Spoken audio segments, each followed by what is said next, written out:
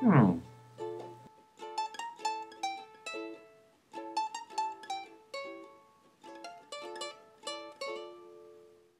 We're in 15 Ushers Island on the Quays in Dublin, and it's the setting for James Joyce's short story, The Dead, arguably the greatest short story in English literature. And of course, John Huston recreated the story lovingly in his last film, also titled The Dead. The dinner has just finished, most of the guests have left, and Gabriel is in the hallway. He looks up at his wife and he sees that she's listening to a song further up the stairs.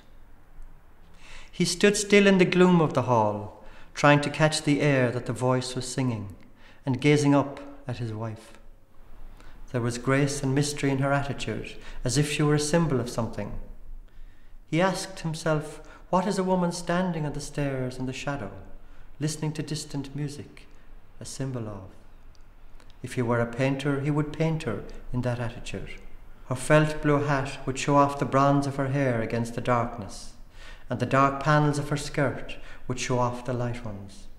Distant music, he would call the pictures, if he were a painter. Oh, the rain falls on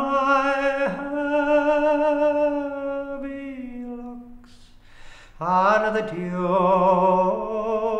wets my skin.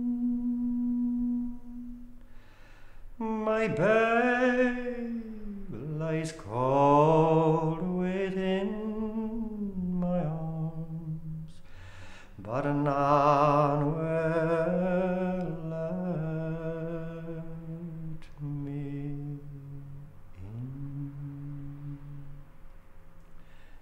And after the song, which was the Lass of Aughrim, of course, they headed towards the Gresham, where Gabriel expected an amorous night to finish the evening, to affirm himself and affirm their marriage.